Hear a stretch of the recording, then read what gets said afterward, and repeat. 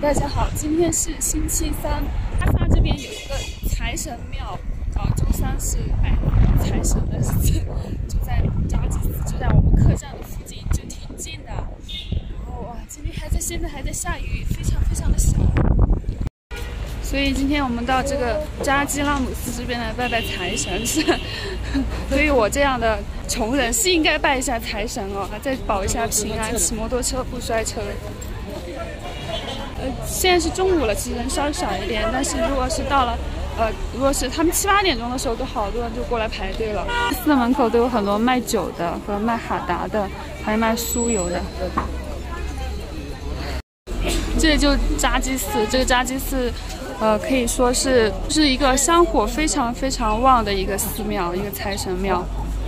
很多本地人也过来拜，哇，排了好多人哦。这个财神是一个汉族的，我们到老去买里面汉族的一个公主。里面去买东西。从这里开始排队，哇，现在人都好多了。就从这里，哇，排了好长的队，看看看。嗯，这样。因为扎基拉姆他比较喜欢喝白酒，所以准备了零钱，然后去里面买一些白酒和哈达什么的，然后献给他。里面的酒要便宜一些，外面这个外面也有一些酒，外面有卖酒的，外面的酒比较贵一些，可能在里面去买，所以到这里来就备一些零钱啊什么的，就比较方便。因为是周三，周三是拜财神的日子，呃，所以就好多好多人，好多本地人、藏族人民都过来拜。进寺庙之前要把帽子摘掉，以示尊重。进寺庙之前，就西藏所有寺庙进寺庙的时候都要摘帽子。这个是聪哥的这个唐卡，扎基拉姆的唐卡，开过光的。这个糖管还蛮贵的。这里也有卖酒的，这比较便宜，都是十来块钱、几块钱一瓶。哇，这里的生意真的超级的好，特别是今天星期三这一天。这些是酥油，供酥油的。烧香的一般都是外地不懂。哦，一般是不烧香的。是藏族人也烧，但他们不烧整根的，是一包里面的粉，直接扬在里面。但也很少。有所谓的微微商嘛。拍一下华哥，你是不是藏族人带我们，藏族大哥带我们，怎么样？华哥转过来，看他像不像藏族人？真的超像。其实他是一个东北人。进寺庙都不要钱，因为大家都以为他是个藏族人。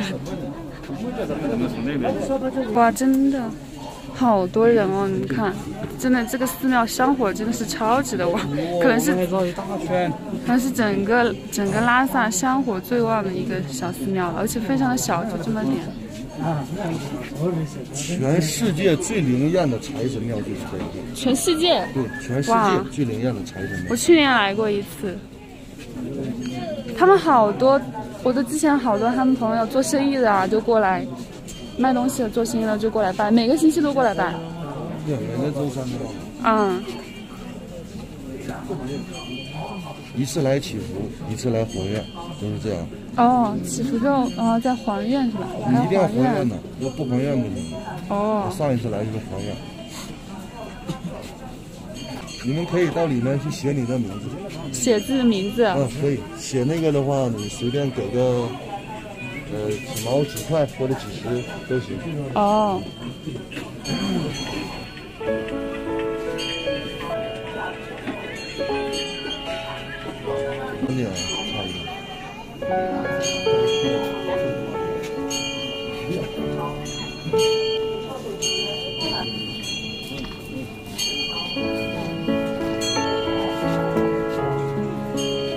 我们排队都排了。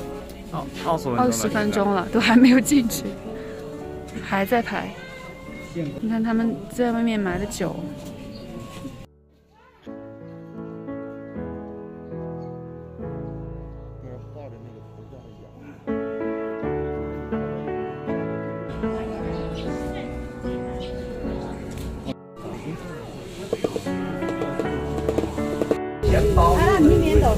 拿两瓶。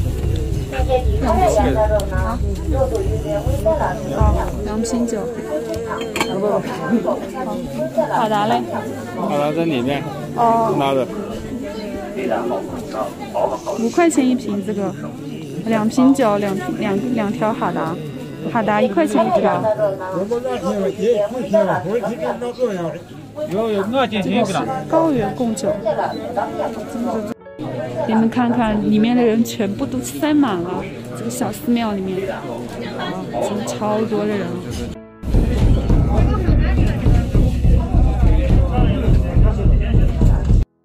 在这里可以换钱，换一些零钱。这我得找二十块钱，得找两百张，你你确定？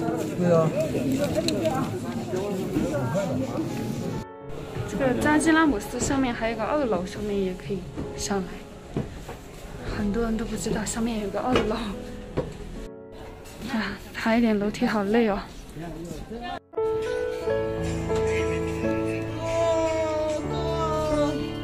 现在已经应该差不多一点了，还有那么这么多人。